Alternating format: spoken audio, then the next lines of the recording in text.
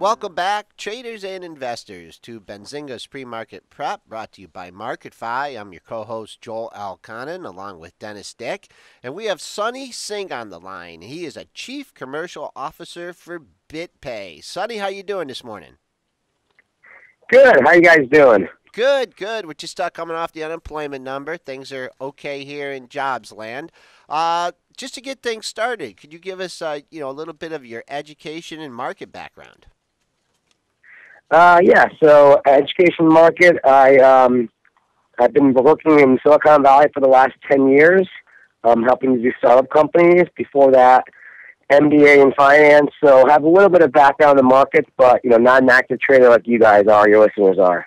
Okay, so tell us about BitPay. First of all, um, how long has it been around? And second of all, BitPay. Are you um, are you like uh, starting a form of Bitcoin and Apple Pay?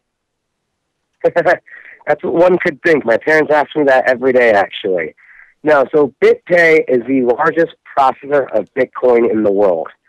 We've been around since 2011, which in Bitcoin years is kind of makes us like one of the oldest companies in the Bitcoin industry.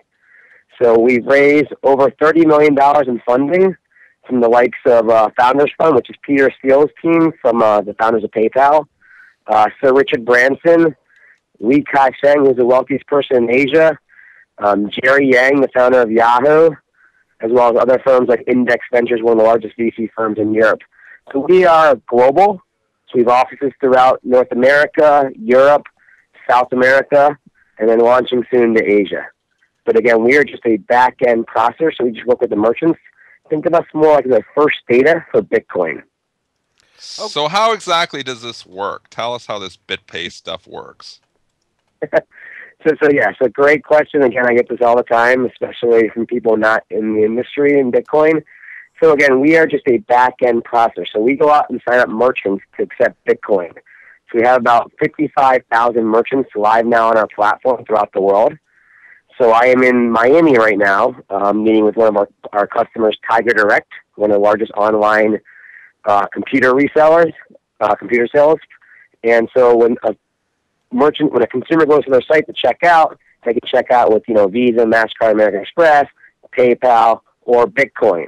And to click on Bitcoin, that becomes our back end, and we now enable the consumer to check out using Bitcoin, and we'll take possession of the Bitcoin and settle out with Tiger Direct in USD or euros the next morning. So Tiger really doesn't take possession of Bitcoin, so it's really no risk for them to uh, to serve their merchant consumers. Okay. How many ahead, customers do you think you're servicing with Bitcoin? Because you have to have the Bitcoins to be able to play with the Bitcoins, and I don't know anybody that has any Bitcoins. So, like, how do you get? How do you go about getting Bitcoins? And then exactly, yeah, that that's this is where Bitcoin is still not mainstream. I would say, you know, because again, in America, most people use credit cards, and it works pretty well. And I get my United miles and all that. But yeah. you know, think of Bitcoin as the currency for the internet, and it's global. So all over the world now, people can go to Tiger Direct's website and shop on that that might not have a credit card before, that might have high transaction fees, processing fees, things like that.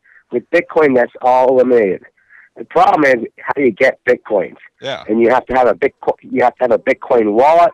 There's Bitcoin ATMs, but it's still not as easy as it needs to be, and that's where the market still needs to go to making it more prevalent. The other concern is like let's go say I buy some bitcoins and this thing was trading up like at a thousand dollars uh, just going back to a couple or year ago or two, and now I look at it, it's down in the 300. So if I bought a bunch of bitcoins there, I just took a major, I have some major currency risk holding that bitcoins in my account. Yeah, no, the, the currency risk is still very volatile. It seems to have settled down around $350 now in the last couple of months, but we're seeing 3% ups and downs, decreases, ups and down swings every day. but in the last 12 months, if you go back 12 months ago, it was actually $280, I believe, and now okay. it's 350 So it's actually gone up in the last 12 months, believe it or not. But everyone remembers all the news when it was at trading at $1,000 about nine months ago. Yeah, so what what's your outlook for it? Uh, can it ever get back up to that level? And um, if, another question following that up: uh, If Bitcoin doesn't survive, do you process other products? So, so great question. So, you know, BitPay again is the back end processor for you know like for merchants. So we don't really get involved in the day-to-day currency trading and all that. So I don't really follow. I actually follow the price. Mm-hmm. I don't monitor it daily and all that because again, we make it so no matter what the price is, we absorb that risk for our merchants. So the merchants never take any Bitcoin volatility, and so you know I can't predict where the price is going to go every day. There's a lot of experts that keep thinking it's going to go up, but yet it's gone down for the last two months. So I don't consider myself to be one of those PhD experts, but the currency right now serves a purpose though to enable people to do cross-border goods transactions, no processing fees. There's no chargebacks to the merchants. So there's definitely a lot of great value for the consumers and for the merchants for Bitcoin. It's just this price seems to keep going up and down and you know pretty swings, but it has stabilized a little bit, and we should see. You know, I don't know where it's going to go next year. I've heard anything from you know four thousand dollars in twelve months to you know stays at three hundred dollars. But I mean, who knows, right? If it's a stock market or trading regular currencies. How it, and the biggest question is like it's so difficult to value something like this. Like my my question. So okay, I, am you know j- just bear with me here because I don't know a lot about the Bitcoin industry. But if it's trading at three hundred dollars for a Bitcoin, so when you go and buy something online that's like twenty dollars, do you just get a fraction of a Bitcoin? You just basically take a fraction of a Bitcoin from these people. Yeah, exactly. So the Bitcoin can be denominated, broken down to uh, eight eight decimal points. Oh, okay, so, so when you go to decimal points. Yeah. Okay. So when you go to buy something that costs twenty dollars, you just end up paying point zero zero three bitcoins or whatever it may comes to and it's convertible to other current, obviously to other currencies as well, besides the dollar. If you like for Dennis, you know, using Canadian dollars, it would be convertible. Um, so do you, do you think Bitcoin? I mean, we're getting some questions here. One, you know, from Brianna. Uh, you know, is this thing going to survive? And if it doesn't, you know, do you do do you process anything else, or do you, is this really the only product you're marketing right now? Yeah, so BitPay uh, has a platform that allows us to work with other currencies. Um, but to be honest with you, you know, Bitcoin is so much larger than any other currencies that are out there. Um, you, you know, I, I think we're, you know, Bitcoin 2.0 is, you know, we're just starting out in the second inning of the nine inning baseball game, I think, with Bitcoin. Um, but it's clearly the only, I think it has a 98% market cap compared to all other currencies combined. So it uh, it's definitely the main one. No other merchants are asking to help support other currencies. But again, I think if Bitcoin doesn't survive, some form of Bitcoin using the blockchain technology would come out of that. Do you have any uh, um, Bitcoins? Or do you have any uh, yes, currency? I do. You do? Okay. Uh, I own I own quite a bit, and actually at BitPay, we offer our employees a chance to take payroll in Bitcoin. So we uh, we work with a lot of payroll vendors now that are offering other companies their employees taking payroll in Bitcoin. So I take a certain percentage every every paycheck in Bitcoin. Uh, and uh, what about the the rest of your employees? Are they uh, are they uh, into that? They, are they uh, electing that, or is it still a little bit slow? yeah, process? so we've we've got close to hundred employees now, and every single employee takes a certain part of their paycheck in Bitcoin. Yeah, that's. Um, we have about we have about 10, 10 people on our team that take 100% in Bitcoin.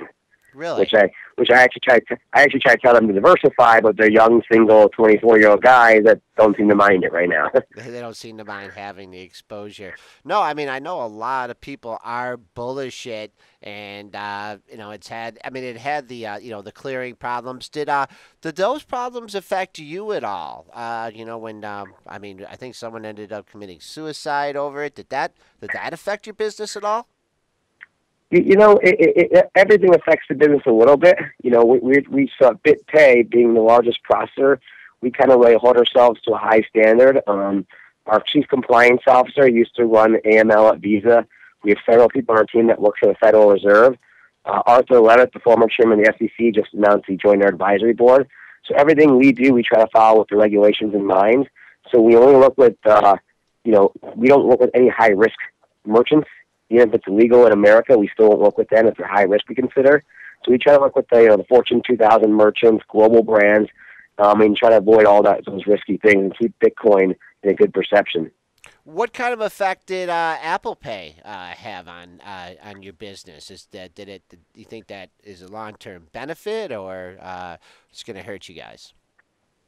No, I think it's actually great. Um, any time that innovative, new innovative things happen in the payment industry, It's good for any other payment vendors that are out there.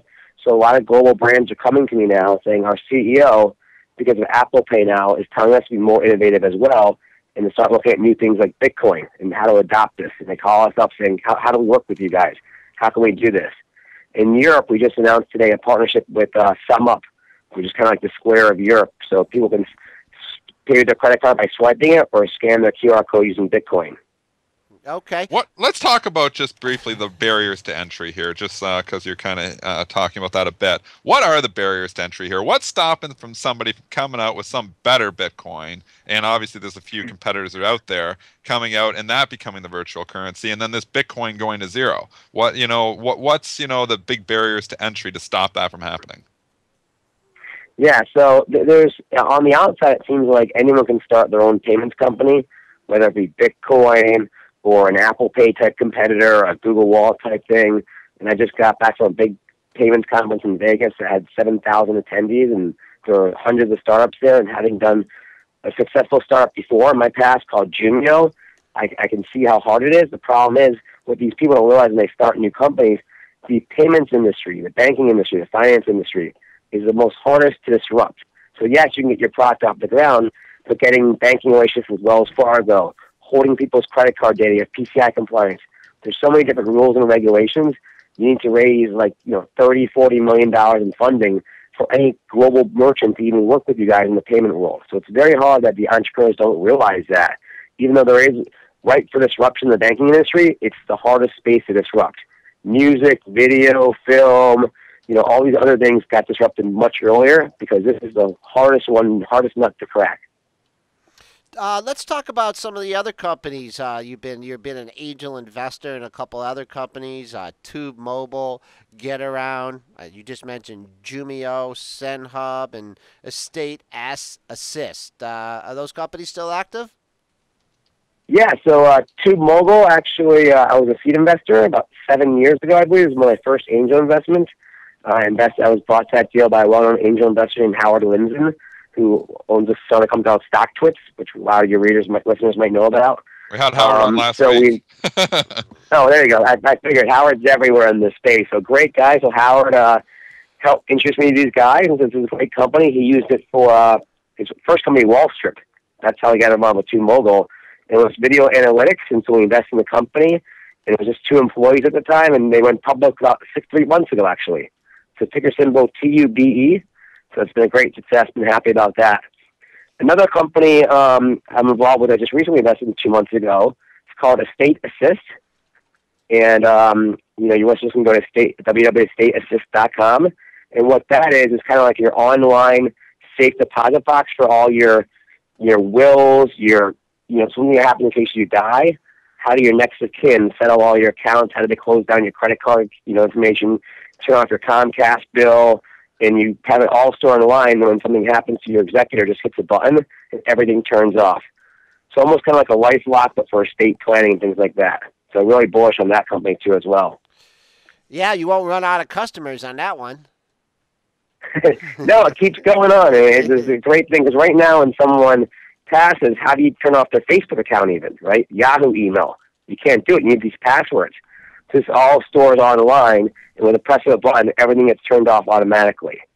Okay. All right. We've had Sonny Singh on the line here, and he is the Chief Commercial Officer for BitPay. Uh, not really making any speculation on where BitPay is going as far as price, uh, but uh, definitely sees it um, increasing in use. So, Sonny, thanks for coming on today. Great, very insightful interview, and uh, we hope to have you on again, and good luck with all those companies. Hey, thanks, guys. Anytime. Okay. Thanks, Sonny.